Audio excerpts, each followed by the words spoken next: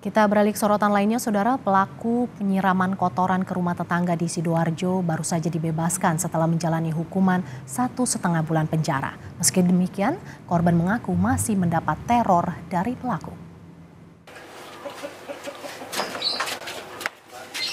Korban penyiraman kotoran di depan rumah oleh tetangga, yaitu Wiwi, mengaku pelaku kerap mengganggu proses renovasi rumahnya.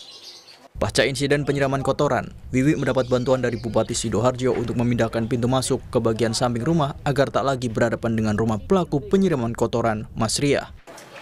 Meski demikian, Wiwi mengaku Mas Riah kerap menghalangi pekerja untuk merenovasi rumahnya. Dihadang sama bapak, kiri kanan sama sepeda motornya itu ditaruh ke depannya itu. Oh masih terus Pokoknya udah motor itu ya habis dituang ke depan lu ke setirnya dihadapkan ke barat. Hmm. Yes gitu terus nanti dimasukkan kalau sudah kulit-kulit tukang-tukang itu sudah selesai jam 4 itu baru nanti habis maghrib dimasukkan lagi gitu hmm. terus sama ngomel-ngomel. Mas Ria sebelumnya dilaporkan ke polisi usai membuang sampah hingga kotoran manusia ke rumah tetangganya dan dinyatakan melanggar perda hingga harus menjalani hukuman penjara selama satu setengah bulan.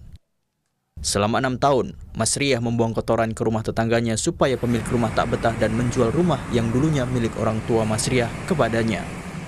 Tim Liputan, Kompas TV.